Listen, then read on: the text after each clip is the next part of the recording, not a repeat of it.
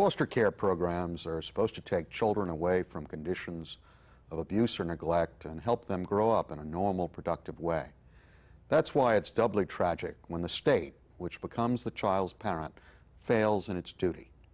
This is David R. Jones, president of the Community Service Society, an organization that addresses issues affecting the poor in New York City.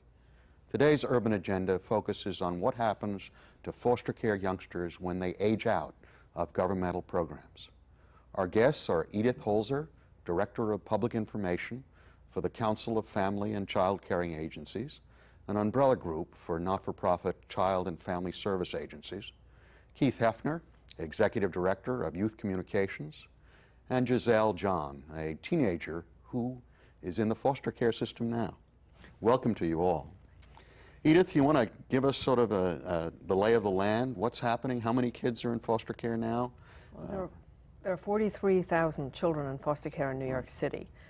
Of that, of the 43,000, about 10% uh, are between the ages of 14 and 21. And that's the aging out period? Um, for, at the age of 14, young people are expected to get independent living services, which means preparation to go out on their own if those young people are not expected to return home.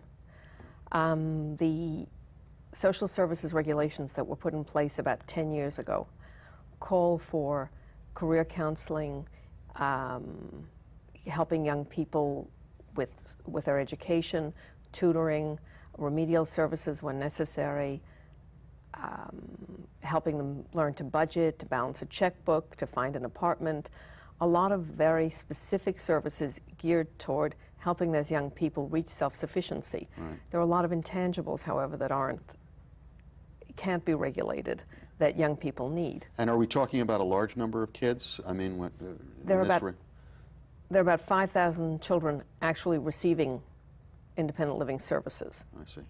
And, and we talk about the demo demographics, or is this largely African American and Latino kids, or well, in New York City? You'd have to look at the uh, percentage of uh, each ethnic group represented in the foster care system, and it's about 56% African American, 20% Hispanic, 20% unknown, which could mean multiracial. Right. Nobody's really defined that. About 2% white, and then there's a category of other that nobody really knows what that stands for. And, and what is your overall understanding of how successful this process is? Are these kids doing very well when they get out? It's very much a matter of concern to people who work in foster care and who work with young people. And there are not really exit statistics that we can look at. There are some programs, like one agency in Westchester called Children's Village has run a special program called the WAY program. Where I mean, these kids aren't tracked after they age out? We don't know what happens? They no. just fall off the earth? No, um, it depends on when they leave. If they leave at the age of 21, which means the end of all services, then there probably isn't that much tracking, but there's probably informal communication between the young person and either the foster family or the, uh, the agency program that they were with. If they leave between 18 and 21, then there's a discharge period that is formal, where there's um, contact, consistent contact between the agency and the young person, and no young person is supposed to leave without guarantee of stable housing But we have no statistics really to, to back this up across the system. No, we really don't. Interesting. Yeah, let me add yeah. something on that. That it's, I mean, you, you expressed a little alarm that yeah. there isn't tracking, and I, it, it's even more alarming to me than, than the tone in your right. voice, and here's why. I've, and you know this as well, there, there are very few studies of any kind, academic or city or state done or anything, tracking kids who have left foster, uh, foster care. It's a handful in, in the last 20 years. Right. And what's really extraordinary about that is that the state has taken the role of the parent of these children. Right. And it's, it, it is as if a parent, when the child turned 18 or 19 or 20, just slammed down the steel gate and said, we, you don't exist anymore right. for us. That's the effect of not tracking. Aside from all the data that we don't have about what's going on with these kids, it means that, in a sense, that person who has said, you can't live with your parents. In fact, we're going to, as the state, we're going to go and take you away from your parents. a, a, a major, the most major intervention you can imagine. And then when you're turned 21, it's like, oh, it didn't happen. You're gone. You don't exist anymore. Well, I know when I was in, head of youth services for the city of New York in the 80s, uh, when we sat down and realized that we were asking a 17 and 18 year old to do what none of us could do as adults. We basically had a whole range of supports. You know, learning the subway is what most 16 and 17 year olds are doing, as opposed to setting up a household. Well, Giselle, what's happening? You're, you're in the midst of this transition. What's it been like? Well, for me, it's. Uh, I have a lot of questions, but I guess my background, my parents, my foster parents have Right. been really good to me. They've taught me a lot. Um, even though I didn't live with my biological parents f- for years, Right. The, the training I got from my mother is still in me. I still know how to look for a job because I go to my independent living skills. We have it. Um, my foster mother teach me how to keep the house clean, how to Yeah. do things, how to, you know, if she's not away, I can keep the house for her, in other words. Um, a lot of kids don't have that training. Right. And as a teenager in the system, it's difficult when you don't have someone who can say, We don't want you to hold our hands. It's not hold my hands, it's just show me. And you know, a lot of a lot of adults don't realize that it takes a, a period for us to really get over it. Because when you leave foster care, it is difficult. I am so scared, but I'm now I'm not depending on the system. I'm doing things to myself. I've always been, and I always will, because at 21, when they give me that 750 and said bye bye, you know, it was nice knowing you. Don't want to see Well, you. Don't. I don't know if many of our viewers know what is the $750 you talked about? it's what you call a discharge grant. They give you that when you leave the system. You know, Th- that's it? that's it. What do you expecting? A house and land? nah. They give you that much, and it's nice to know you. We had you. If you ain't care for 13 years, it was. Ni- it's almost as if they're saying to you, "Well, you know what, Giselle? You know, 13 years was not long enough with you. Bye bye. Here's your money. Go find That's yourself it. a house and land." Can I ask Yeah. Something? Do you think, though, that you'll continue to keep in contact with your foster parents? Definitely, Right, that- because they that have makes a been a major part of my training. right. You know, Now, many kids, however, when they reach this period, 14 or up, don't have an actual foster parent. They have an agency they're dealing with. Isn't that true? It's about 60 40. 60% of the kids receiving independent living are in group care, 40% are living with foster families. and how is the group care, how do they track out? in It terms could of- either be a group home. Well, actually, when you think about delivering fo- independent living services, it's easier in a group home because you have a captive audience. Right. Um, But it's not warm and fuzzy when you have, after 21, you have to call back to your group home for help. It's, it really varies. There are young people who develop very close relationships with a social worker, with a child care worker, and there are mentoring relationships that are very important for young people. Let's, so let's talk when it doesn't work. There, there have been some uh, data that I've seen showing a really high proportion of kids who are coming out of foster care who end up on welfare in the criminal justice system and in other systems. Do we have any data even on that? Um, I think we're looking at it from the other end. So you can look at the criminal justice system and the homeless population, and yes, you're going to see foster care kids disproportionately represented because these are kids who've had disrupted early lives. And most of the people, unfortunately, who have difficulty in life have had disruptions. I, I guess I'm concerned when I was youth service commissioner, uh, a group from Israel came over uh, talking about what was their foster care system for kids who lost their parents during the Holocaust. They turned out to have the highest scores and the highest attendance in colleges of any group in Israel. And basically, when we talked about it, why couldn't we do that? This was an investment issue. It was clear that the state is not invested $750. dollars I assure you, if these were children who were not of color and were considered vital to the society, that wouldn't happen. I don't know, I'm, I'm arguing now, but I'm, I'm concerned that we're sort of watching a system that's already discarded children I- I in their treatment. Well, you're making some very important points. And actually, when you say the state, the change in administrations has had a very negative impact on kids receiving independent living services. At the tail end of the Cuomo administration, there was a uh, a definite focus on helping kids who are in independent living. There was actually a woman who was setting up focus groups around the state. We were really moving toward some kind of uniform programs and, and greater resources. And then last year, we had a, uh, a frightening proposal by the governor to end, foster, uh, to end foster care services before age 21 unless a young person was still finishing high school or going into adult custodial care. Well, you know, in, in uh, my agency, the Community Service Society, is 150 years old, and I occasionally go through the archival material. At one point, foster care, uh, correct, it didn't sort of make a transition. They put kids after a certain age directly in prison. They didn't skip. This was the turn of the century. They basically, after you reached a certain age and hadn't, you know, been adopted or found work, you were put directly into, into the criminal justice system. And I'm wondering, in a backdoor way, are we starting to lay some of the same groundwork? Well, this issue of the investment and what does it take to help somebody make the transition, I think there's an, an earlier issue to look at as Right. well, which is that kids don't go into foster care in most cases because of an act of God, of a parent dying or something like that.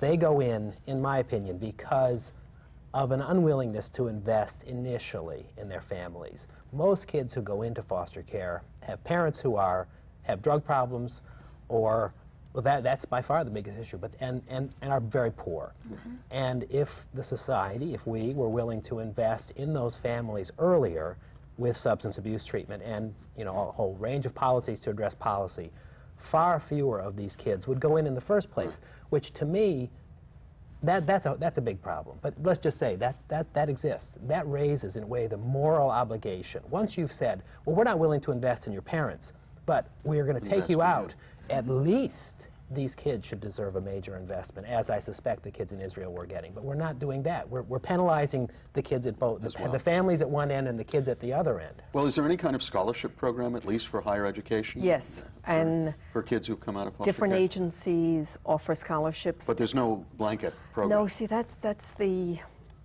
heartbreaking thing, is that very often a child's opportunities are limited to where they were placed. Where they, they, and that can be luck. Yes, exactly, exactly. And there are kids who are going to college, um, and there are kids who are doing better because they had the fortune to meet the right people. Well, what are your career plans, Giselle? Where, Well- where do you want to go? What do you want to do now?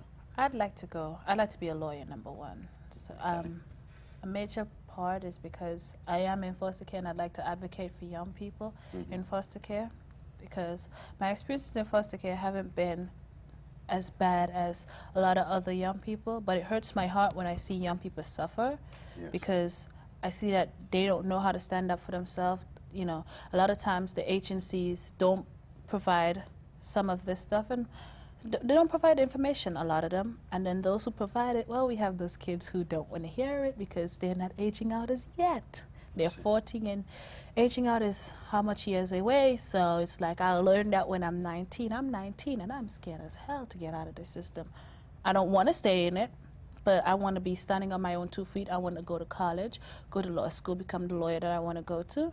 And while I'm doing that, I also want to advocate for young people, especially in foster care.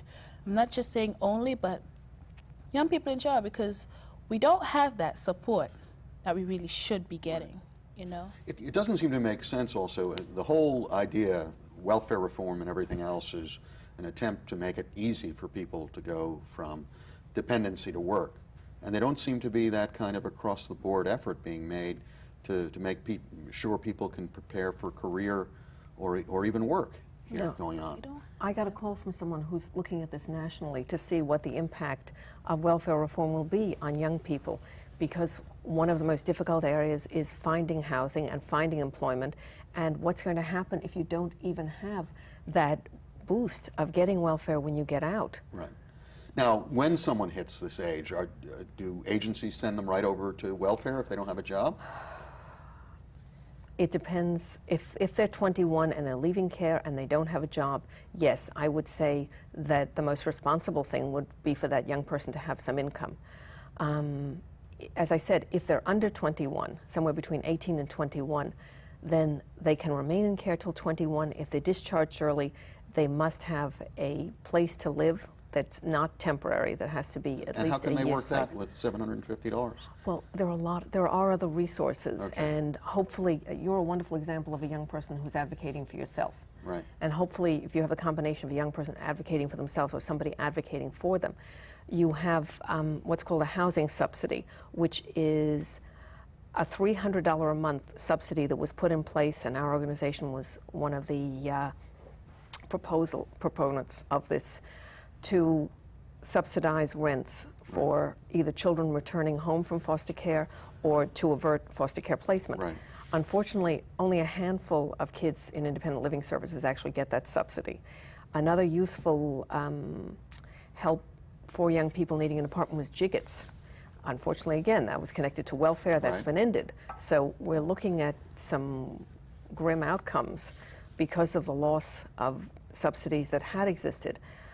Uh, in terms of employment, there are um, employment counseling. There's employment counseling that goes on within some of the programs. then there are also outreach groups that do uh, job training. By and large, how, are- how- what's the educational attainment of most of the kids you're seeing in Well, programs? You're, where, where are they at? Are most of them it's- high school graduates? It's very mixed. No, and one of the frightening things is that this, the whole foster care system is going to go through a uh, reorganization through new requests for proposals. And the commissioner of uh, the Administration for Children's Services, Nicholas Ojeda, has put out a request for information prior to releasing the RFP. In the area of independent living services, there are some very ambitious um, proposals, which are very needed.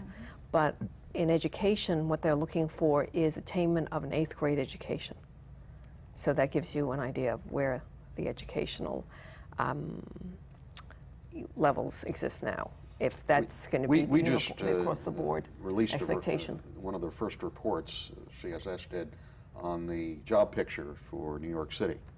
And while uh, we have uh, had a drop in unemployment in New York, it's about 9.1%, for low-wage workers with high school or less, certainly eighth grade, uh, the market has, is oversaturated, even today, with all the things. This, these, you can't be a software developer, as one of the papers recently reported, uh, with an eighth grade uh, education. And there's real fear that not only is uh, the 9.1 uh, unemployment not reflective of the real situation for people who- haven't attained high school, uh, but it's, it's, it's tremendously worse.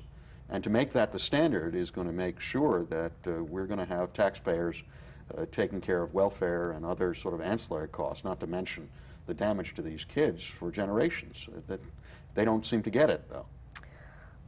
it, it's so worrisome. It, these are wonderful young kids, and I have a good fortune of meeting kids who come out who, like you, want to help other kids who are still in foster care and work on conferences and run retreats. And they know that there are other young kids who are not getting the resources that they need. And it, these kids need attention, and I think there should be an outright appeal for other people to become mentors and to become involved. Yes, Giselle. Um, with the educational, where education is concerned, foster care and the Board of Ed do not have that connection. They don't. We don't. It doesn't matter. It's like you get the runaround in Board of Ed, a serious runaround. You don't get any respect in there. You understand what I'm saying? You get tied up in red tape.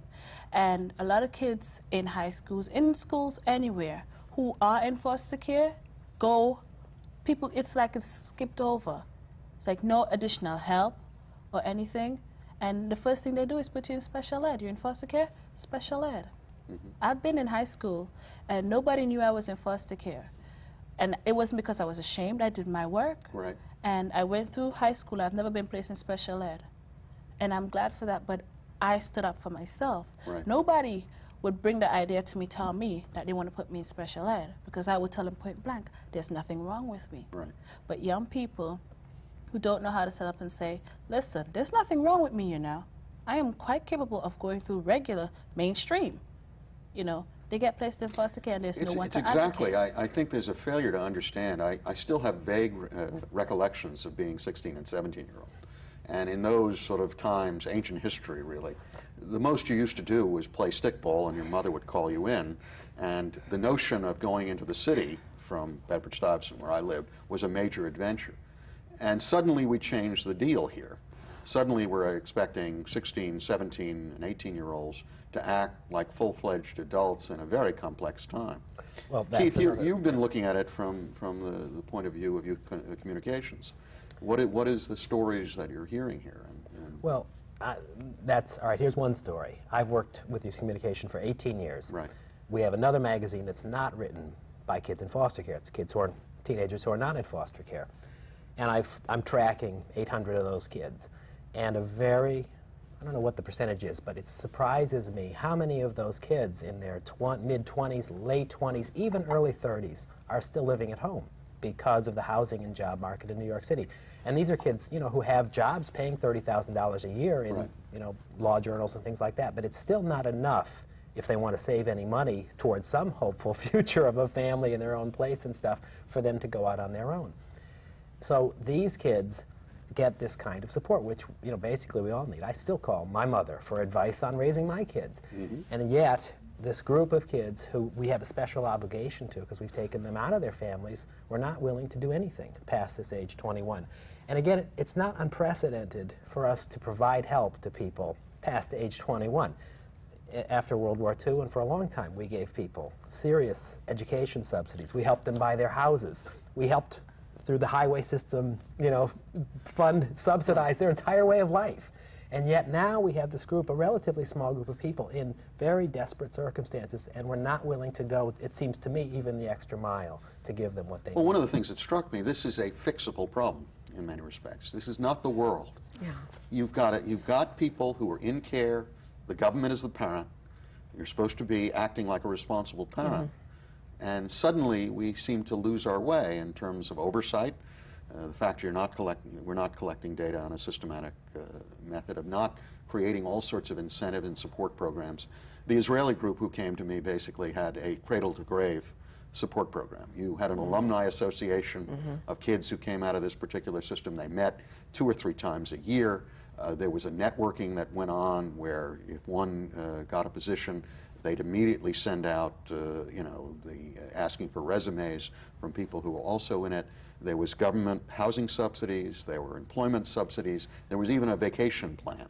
Um, all those things were going, and, and it, it was it was sort of terrifying in the exchange because this individual was looking at me as a government official. Why haven't you done this? And uh, my only response was clearly the society is not willing to focus resources because these kids are not seen as a priority or even as, as full citizens of the society. So it was a little scary that now that was in the 80s. We're a longer way down the pike, and we're still confronting, if not the same problem, perhaps even a worse problem. But rather than leaving my audience all, you know, oh my God, another program, how should we go about fixing this? I'll start with you. Well, um, I think one of the points that Keith brought up in that helping families early on would have made a difference.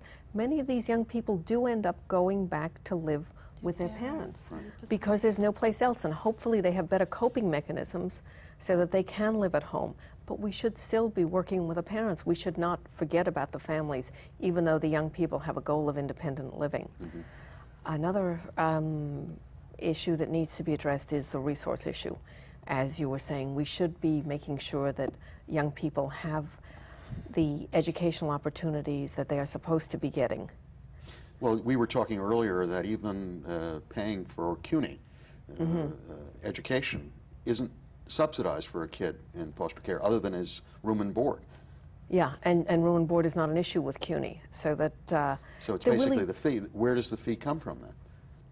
For, for staying in CUNY, they just raised the rates. I'm, I assume that's waived for I somebody think- in state control. Isn't it? Yeah, I think um, at least when a, a young person is in an agency, that they're able to identify certain funding But the the agency young has. person. This is not. The government doesn't help. Well, it would be out of the uh, government funding. It was some way of doing an exception to policy. Unfortunately, exception there's policy. so much bureaucracy governing the foster care and foster care expenditures uh-huh. that that makes it very difficult. Keith, how would you fix it?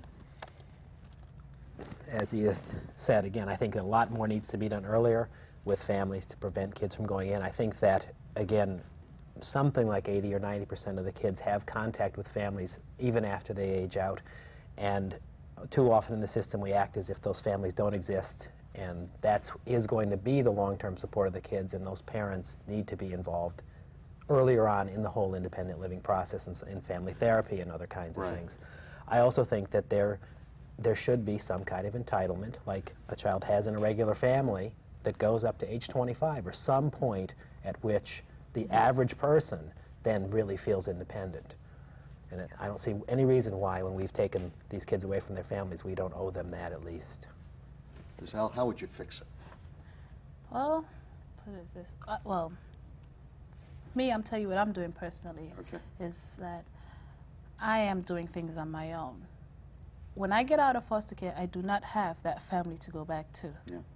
This is Giselle hitting the road, getting, standing up on her own. By God's grace, I'm going to be able to do it. My support, my family, is my church. That's it. Now, you know, a lot of young people don't have that. Right.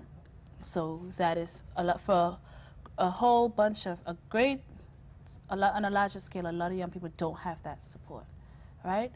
For me, what I say, ACS, you know they say too much, um, too much cook spoil the pot.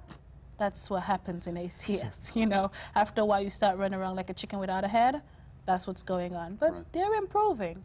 They are. They're improving gradually. It's just that on the board, what you need, what I see, is the need for young people in care come together as a committee, as a committee, because we're the only ones who can tell you Right.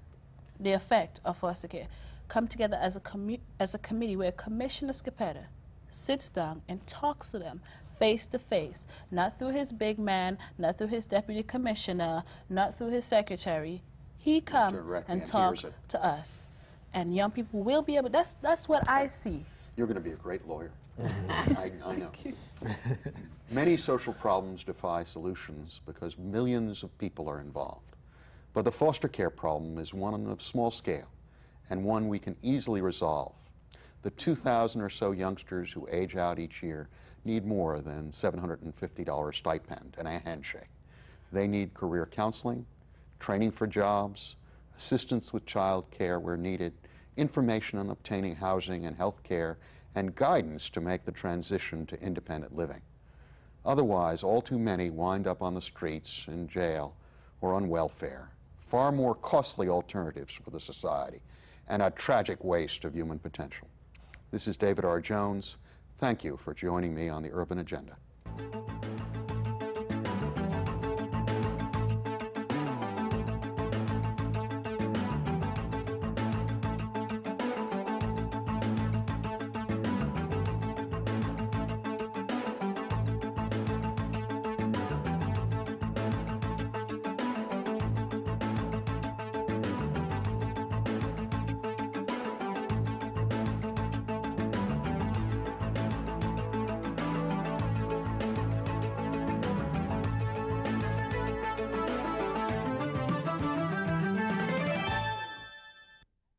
To comment on the urban agenda or for more information on CSS, contact Community Service Society of New York, 105 East 22nd Street, New York, New York 10010.